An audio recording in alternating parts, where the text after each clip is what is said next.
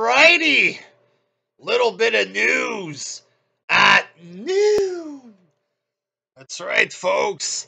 Big Dave Meltzer there was giving his opinion or his informed uh, backstage opinion there on uh, McMahon versus McAfee there.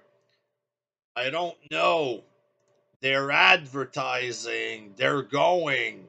It's it's it's listed as a match on the format for the show. How does he know this? Has he seen the format? No. Has he heard about some format?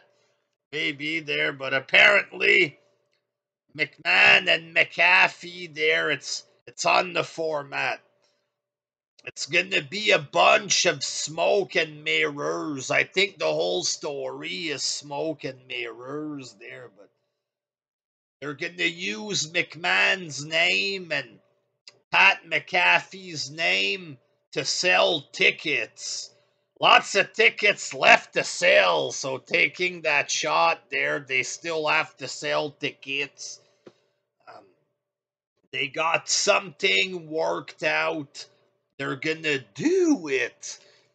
Time will tell, folks, what happens there until I think it's Thursday. McMahon is supposed to appear on the show, and we'll see what the deal is. But um, McAfee himself, folks, wrote on Twitter, You all seem to know a lot more about what I'm up to than me. So, in other words, he hasn't heard any of these plans or whatever unless he's faking. You all seem to know a lot more about what I'm up to than me. So, the way it sounds, these plans, him against McMahon, apparently he doesn't know about this. So, he's pretty much denying it. I'm excited to see what happens at this point. WrestleMania chatter is wild right now.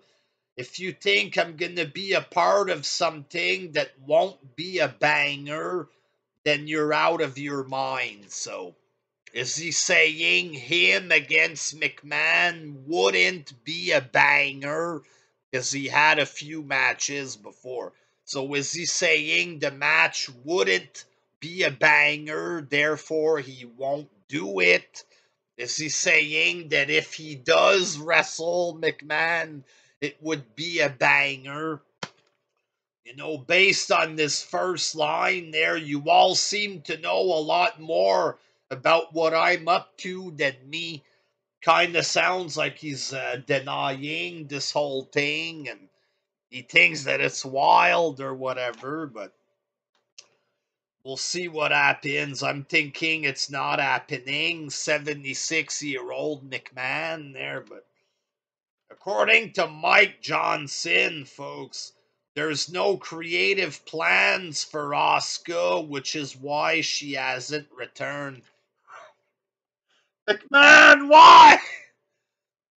Every year, every couple of months, there's a new Asuka victim story or whatever. Can we let this go there? Mike Johnson, it's obvious, just a guess in the Q&A. He's not privy to creative plans about Asuka or whatever. It's a good guess that there's no plans. Creative not ready for Asuka. You know what I mean? It's but they put this out Oh, McMahon is wronging. He's hurting Asuka once again. Asuka must be crying about this. There, she should go to AEW. It's the same Asuka victim story every couple of months there, but Mike Johnson, is obviously just guessing about this there. Apparently, Cody had a big phone call with DDP there big phone call or whatever two days before Cody quit. And apparently, Cody said this to DDP Listen, I'm gonna tell you something, but I can't tell you too much. I love Tony Khan and he loves me, but we're gonna split up. They were in a relationship. Now they're splitting up. I'm gonna go off and do something else. I can't tell you.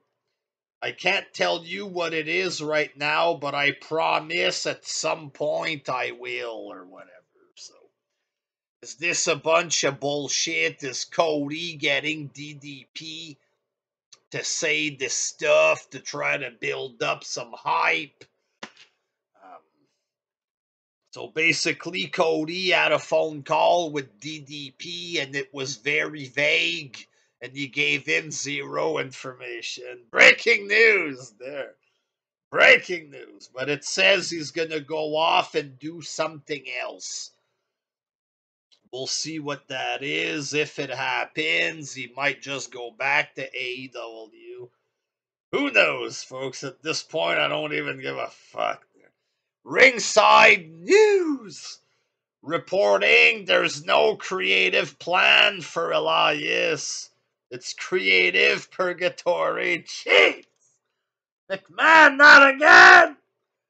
Um, Elias, it's true that they don't really use him that well. They never let him win. Uh, know, there's some guy that needs better creative or whatever, but again, we don't know the story. We don't know what happens backstage why he's never on TV, but hopefully at some point business will pick up for Elias or whatever.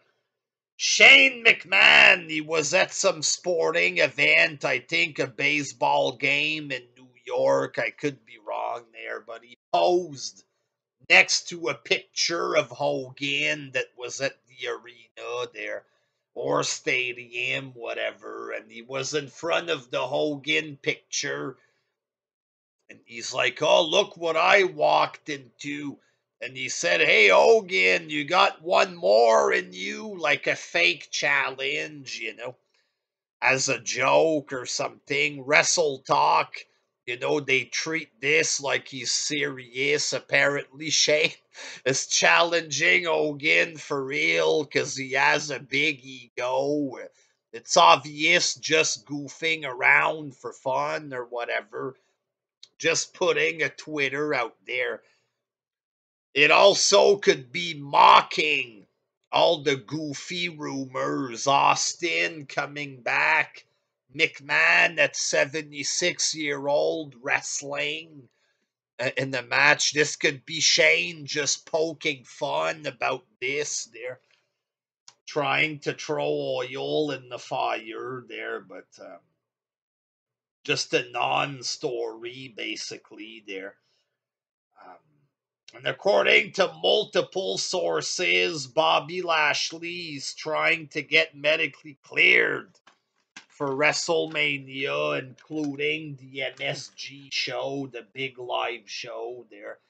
Um, hopefully it happens. Hopefully he's going to be fine. It's possible that he's not injured. You know what I mean? He took that, the concussion in the cage. It's fake, obviously, right? Um, there's rumors that he has shoulder issues. Is it real? Is it fake? Right? Are they doing this just so he doesn't get beat up at Mania, at MSG by Lesnar, just to keep him looking strong or whatever?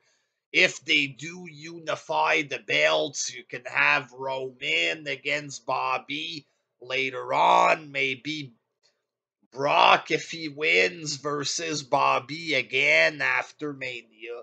It's possible he's not even injured there, but we, we don't know the truth. If he is injured, hopefully he's okay and makes it there. So there's your news at noon, folks. Stay tuned for more news. Until next time, peace. Ha! Let's dance, folks. Bring this to 10 minutes there. Ha ha! Ha! Peace.